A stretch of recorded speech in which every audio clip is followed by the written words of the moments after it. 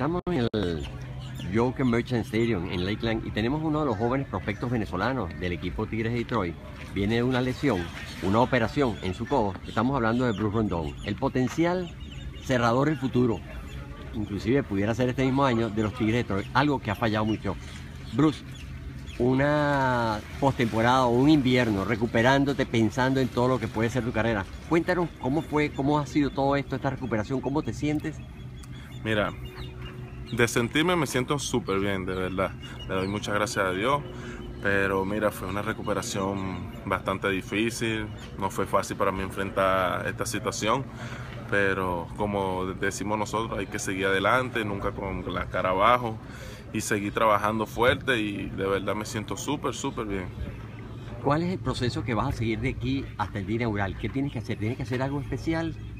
Eh, bueno, hasta los momentos mi rutina, ¿me entiendes? Seguir siendo mis pesas, seguir siendo toda mi rutina de siempre. No tengo nada ahorita especial, sino seguir trabajando como sigo.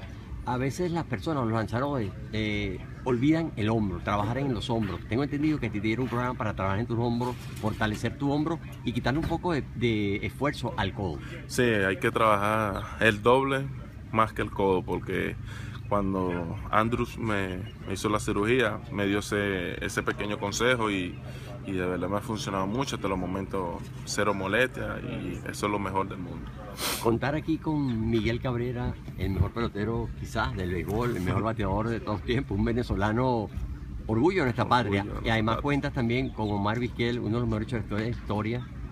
¿Cómo ha sido el apoyo de ellos dos hacia ti? Mira, de verdad, esa ha sido una experiencia demasiado bonita tener el mejor bateador y el mejor Sion.